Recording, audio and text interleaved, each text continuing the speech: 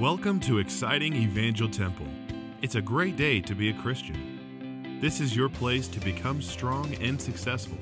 You and your family belong here. Join us at ET Sundays at 9:01 and 10:45 a.m.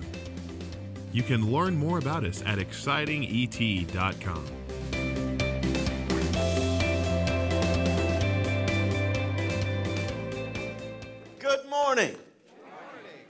Everybody's in such a good mood today. Why is that? Thank you. I didn't understand any of that. I know you have your Bible. Go with me, please, to John chapter 8. We are starting a series right now that'll go for the next couple of weeks called Making a Murderer. Making a Murderer. This is one of those addictive documentaries that's on Netflix that is breaking every record because you watch it and you have to watch it again. And everybody I know who watched it has become obsessed with it because we're not sure what happened. Just the gist of the story is a guy named Steven Avery, Manitowoc, Wisconsin, up near Green Bay, went to prison for 18 years for a crime he did not commit. When he got out after 18 years, suing the sheriff's department for $36 million, and suddenly he's charged with another crime of murder. And I don't know if he did it or not. I don't want to hear your opinion because everybody has one, like belly buttons. And I think I get with my family and everybody argues about this. So I'm not trying to go there. I'm just trying to expose the devil. You've got to know who you're fighting against. Amen? I don't know if you know this, but this nation was founded because people revolted against taxes. Taxes. That's why the Boston Tea Party happened. That's why the American Revolution happened. Stamp Act by England, and all of a sudden you're going to be paying more. If you want to pay more taxes, go ahead, but don't raise mine. Oh, okay. I, I expected more, but I'll work on the 1045 crowd. Thank you there's a number that you need to text to me right now, and I'm looking forward to this. We're already getting some responses. Why does the devil hate you? And I know that he does. Why does the devil hate you? Oh, somebody put, my soul winning is robbing hell. Oh, I love that one. Another one, the devil hates me because I'm the opposite of him. That's good. Because Jesus has a plan for me when I grow up. Chastity said that. Wave at me, Chastity. She's right there. She never misses. Appreciate you. Because he's Satan. Duh. Come on, Rick Moore. I'm not going to tell everybody who that was. Glendon says, because I took his job. Janie Kerr says, I'm a prayer. Prayer. I'm a prayer. Thank you. Oh, here's one. He's jealous of my heavenly home. Oh. Another one said, my potential. Oh, I love this one. He lost me. My soul sings. I hate him so much I refuse to eat devil's food cake. Now, matter with this church? I love your joy. Keep on coming. I'll read them while I'm driving. Here we go. Excuse me.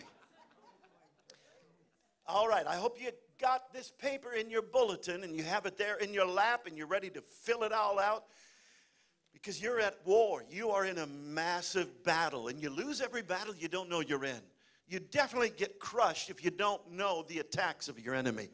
And so we're going to expose that. Number one, in the making of a murderer, the devil wants to kill your joy. You ever heard the devil is in the details? It is true. He wants to do things and put people in your life that will crush your happiness, destroy your cheerful spirit. Do you have somebody in your life that always corrects you, even if it's just something tiny that they could let go? Those people are not happy, and if you're not careful, they'll make you not happy. Be careful. Joy is a weapon. The joy, uh, this morning we were talking in our staff meeting about uh, I said, I'm stirring up some hornets now. We're preaching against the devil. And we, thank God, we have security here at this church. We have cameras and we have people packing, a lot of grandmas. And I love that.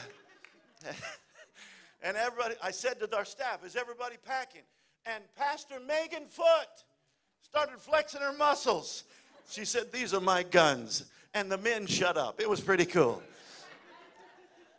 Number two, when the wicked one reminds you of your past, just remind him of his what? His future is not very bright. It's pretty bleak. He is in deep, deep trouble. Every song you sing about heaven makes him sick. He can see your mansion. Did you know that? The devil can see your mansion. Oh, that must be frustrating to him, and I love it when we frustrate him. Don't be silent about heaven or about hell because Satan influences you to keep quiet. The silence of the lambs is the reason this nation is in the mess that we're in. The devil is such a deceiver and a liar. John 8 and verse 44. I love it when Jesus gets a little stoked, when he kind of raises the temperature. He's normally kind and, and gentle and tender, and neither do I condemn thee, and go and sin no more, and the Beatitudes, blessed, and all that stuff. But there are moments when the wrath of the Father gets on the Son, and you're going to see this.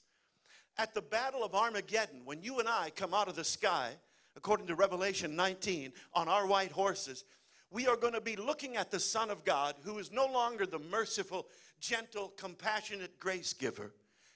He is wearing the wrath of the Father. And I know it's old fashioned and it's out of style and it doesn't sell a lot of CDs, DVDs to talk about the justice and wrath of the Father. He's the judge. But he still is the judge and he's never changed. Amen. You got to get this. Amen. I am the Lord, I change not. Thank God for the Holy Ghost, the emotion. Thank God for the Son, the wonderful grace. But you're going to stand before the Father. Amen. The Father. You'll have your attorney there. Thank you, Jesus. He's your counselor. But you're going to see this. You ought to study Revelation 19. As you and I are coming out of the sky, the Bible says Jesus will wear the wrath of God. It talks about stomping the grapes of wrath of Almighty God. And it's going to see, you are going to see this transformation that will absolutely boggle your brain as you watch the Prince of Peace become this raging inferno coming out of heaven. The Bible says his very appearance will destroy the Antichrist. His eyes are on fire. Fire. Our God is a consuming fire. I love mercy and I love the gentle breeze of grace, but don't forget the other side of God. That's why people don't feel like there's any judgment to come anymore. Preachers are preaching that. So, verse 44 says, You are the children of your father, the devil. And you love to do evil things that he does. He was a what? There it is. Making a murderer right here. Words of Christ talking about old Slewfoot. He was a murderer from the beginning. He has always hated what? Got to get that. You've got to get that. Go for truth. Go for truth. Don't let somebody convince you what's right and wrong. You study to show yourself approved unto God. He has always hated the truth because there is no truth in him. I love the last line of John 8 44. When he lies, it is consistent with his character, for he is a liar and the daddy of all lies. Whew. He's trying to murder your family. Number three, Satan wants to destroy your family. You don't have to let him. You fight for your family. You guard what's on TV. You guard the computers and the phones, and you guard who comes into your house. It was always a fun day at the Hutchings house growing up when somebody came in and said a bad word. Mama would take them down. I love that. It was a one time experience that nobody ever did it twice. You know, we've got, I was in line at Walmart the other day, and this little two year old's in a basket and grabbing all the candy and putting it down. And, and uh, you know, the first seven times it was kind of cute. And then Mama kept saying the same thing. This is the last time I'm warning you. And I'm thinking, I bet you flunked math. Sorry, I feel an attitude coming on here. The child just kept doing it and doing it and doing it because the child knew mama is a liar. Mama's not going to whip me. Hey, if you say you're whipping your kids, just go ahead. I know it hurts you worse than it hurts them, but that's not even true. Felt pretty good when I was discipling my children. ET families are important to me, important to God, important to this church. Hey, do whatever it takes to fight for your family. Thank God for the families. These are God's ideas. I don't care how you feel on a Sunday morning. Get out of bed and take your family to church. Don't send them, take them. Come on, somebody. You're here, so shout amen. Where were you last week? Sorry. Hey, let's go on. Number four. 1 Corinthians chapter 11 and verse 3. I want you to go there, please. Everybody go to 1st or 2nd Corinthians. I meant to say 2 Corinthians chapter 11. I want you to look at verse 3 and then verse 14.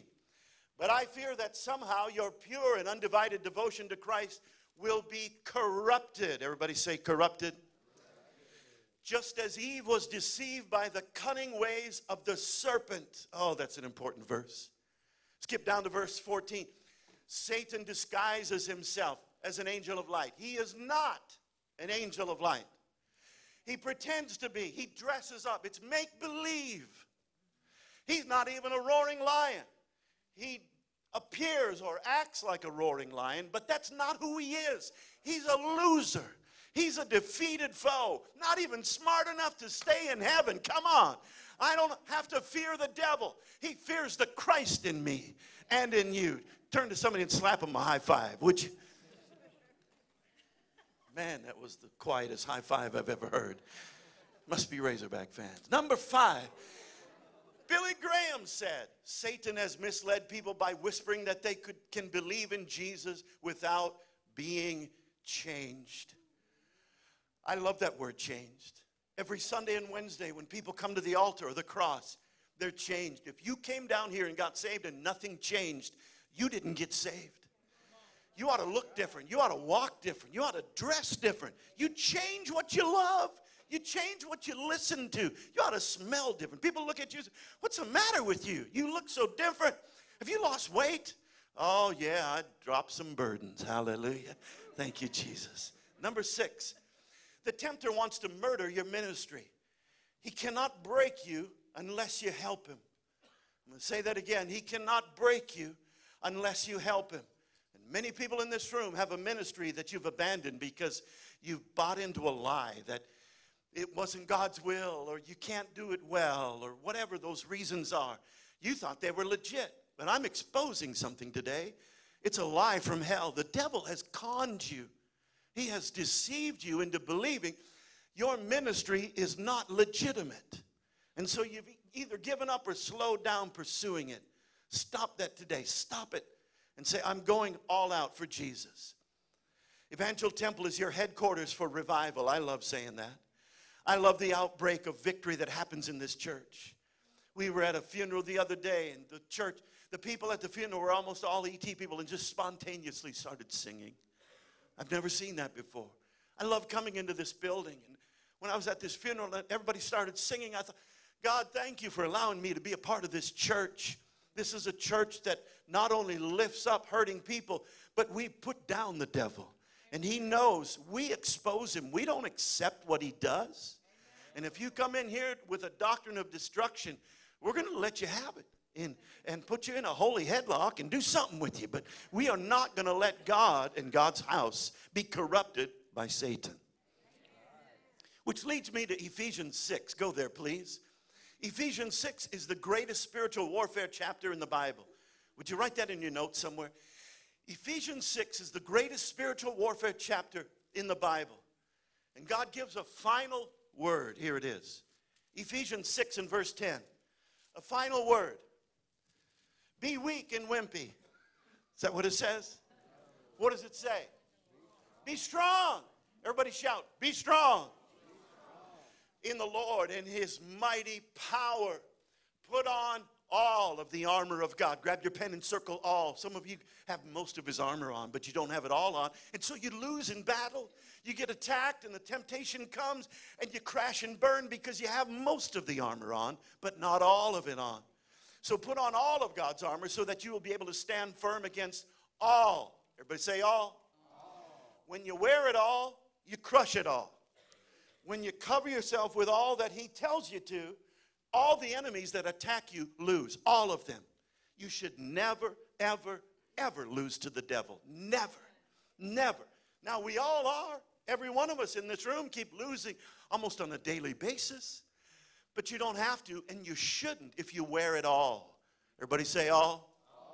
Verse 12, we, we are not fighting against flesh and blood enemies, but against evil rulers and authorities. Notice that. Authorities of the unseen world, against mighty powers in this dark world, against evil spirits in heavenly places, not hell, not even the earth, heavenly places. The accuser of the brethren is at the throne, heaven, talking about you, lying about you. That's why you stay so close to Jesus, because he steps up and says, Father, that's not true. Father, hey, Dad, that, that's another lie. He's the accuser of the brethren. You know, okay, okay. And the father is so emotional, I mean, ready to, for justice that thank God, you're going to see this when we get there. You're going to see Jesus calming the father down. He has to be calmed down sometime. Oh, Pastor Don, that's heresy. We'll talk to Moses. Moses calmed God down several times. You ought to read that. It's kind of comical. God, don't, don't kill people. Not today. Not a good day for killing. God says, Well, I can't stand them. If I, if I get close to him, I'll fry him. And he says, Okay, I got it. This is the Father. I'll follow from a distance. And Moses appeals to his pride and says, What are the neighbors going to say if you kill all your people? And God, okay, but I, God was afraid of what he's going to do to people. That's why your attorney is so extremely valuable. When the devil lies about you, or demons who are in, here it is, heavenly places, they say things about you. You say, Jesus, take the wheel. Hallelujah. Stand up here and talk about me, and he will. That's why, first thing you're going to hear when you get there from your attorney, your lawyer, well done, thou good and faithful servant. You've been faithful over a few things. I'm going to make you ruler over many things. Enter into the joy of the Lord. Come, you blessed of my Father. That's your attorney talking. Come, you blessed of my Father. Inherit the kingdom. Man, that's good stuff. Verse 13, therefore put on every piece of God's armor. I did not plan to say this, but God keeps drilling it in my spirit. Many of you, if not all of you in this room, have so many pieces of God's armor on, but you don't have it all on. And it's like you may as well not wear any of it if you're not going to wear all of it. What is it? It's listed here. Stand your ground, verse 14, the belt of truth, the body armor of righteousness. Verse 15, the shoes for peace. Verse 16, the shield of faith.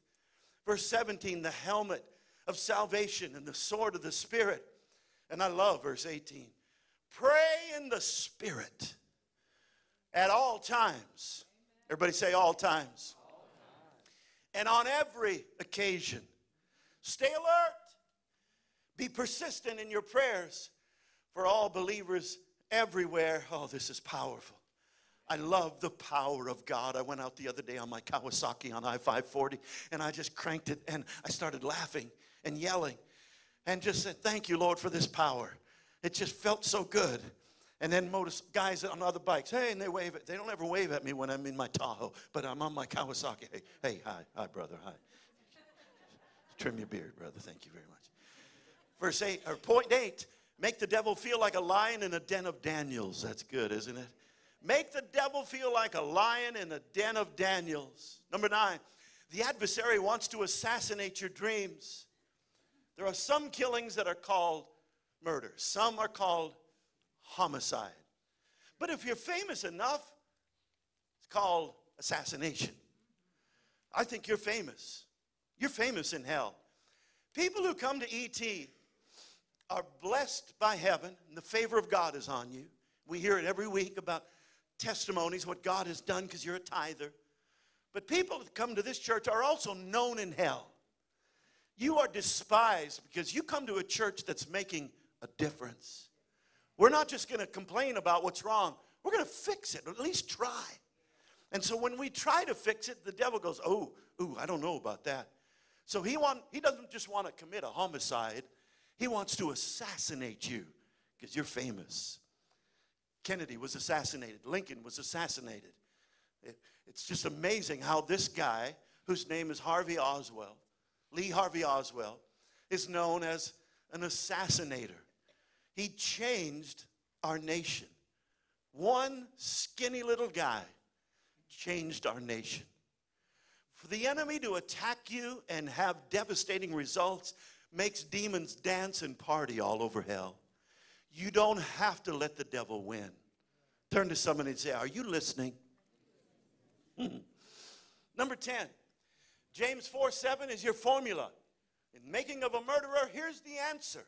You do three things. Number one, you submit to God. Write that down, please. You submit to God. What does that mean? You give Him your heart, you read His Word, you tithe, you praise, you witness, you worship Him. You're submitting everything you have to God. The second thing you do is resist the devil. He is not going to move out on his own. You've got to evict him. Don't just think it, say it out loud. I said it this morning Satan, I bind you. Every day you ought to do two things you bind him and you plead the blood over him. If you have to plead the fifth, plead Galatians 5 1. Stand fast in the liberty that God has set you free. Be not entangled again in the yoke of what? Bondage. That's right, Pastor Matt. Number 11. Oh, by, by the way, the third thing you do is you watch him flee. James 4 7. Submit yourself to God, resist the devil, and then watch him run. Hallelujah. Watch him run. Your strength is always revealed when you're attacked. Rewind. Your strength is always revealed when you're attacked. We complain about it, but it, it's exposing our Holy Ghost muscles. I don't like being attacked, and you don't either. But when you are attacked, you show how big you are in Christ. Yes, yes, it's you and Christ inside of you. Number 11, the accuser of the brethren is not afraid of a Bible with dust on it. Please, please, please don't just carry it. Read it. Mark it up. I'm going to use it one day at your funeral. Mark it up. I, I, think a Bible that's falling apart belongs to somebody who ain't. I love seeing people with these old Bibles and pages are falling out, and you, you know, you can't remember what book it is or what verse, but you know it's up on the top left side toward the end of the New Testament. Yeah, okay, I'll find it there because I've got it in red. Hallelujah. Number 12, don't just analyze the Bible, memorize it. Memorize it. Speak it out. It's words of life. I was talking to myself yesterday. Raise your hand if you talk to yourself. Let me see your hand. Good, good. You talk to intelligent people, don't you? I see those two hands back there, my brother. Thank you. I do all the time. And I just started talking to myself. And I said, Self. And I said, What? and I started thinking about all the goofy hockey teams that I love. I love the Washington Capitals because of Alexander Ovechkin. I love the Boston Bruins because of big Zdeno Chara, six foot nine. I love the, mm, let's see, oh, uh, Chicago Blackhawks. I've always loved them since I was a little kid. Those names probably mean zero to you, right? Because, you know, in Arkansas, hockey is about as popular as beans on a bus trip. People don't go that direction, and you just say, I'm staying away. Many times when you and I talk about the Word of God, we think we're impressing people by talking about sanctification and transformation and all the other shuns and they're looking at you going you're an alien. You you i don't want i don't want what you got because i can't understand what it is. This christianity is not complicated. It is not rocket surgery as george bush said this is very easy to understand you make jesus first and whip the devil come on somebody shout hallelujah Number 13, you can't walk with the King of Kings while holding hands with the Prince of Darkness.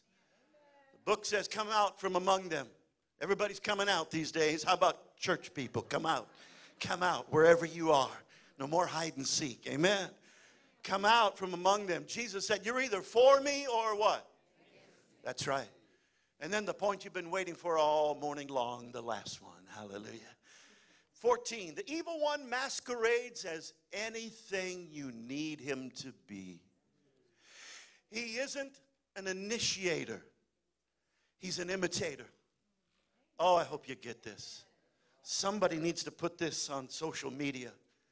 Because there's so many good people battling with this. They're wondering why they crash and burn at the casino and why they can't keep a marriage, why they can't eat healthy or stop using drugs. It's because if you have a problem and you expose it or are not willing to fix it, Satan zeroes in on that problem. Let me give you a great example. If the devil sees that one bad driver can mess up your whole day, he'll send one every day in front of you, every day. And he's good at it.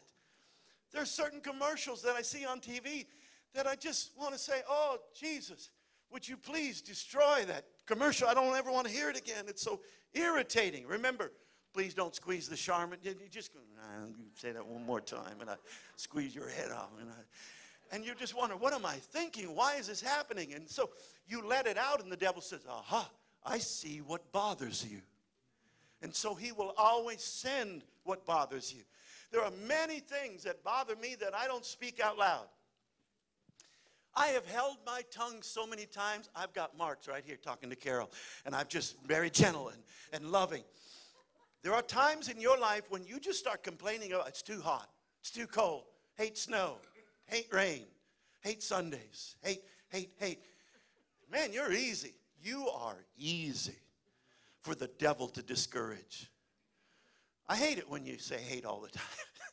Stop hating things and start loving things. Amen. We had some people last week complain about this weather. If you don't, just get on out of here. If you, I don't, I think God forgot winter.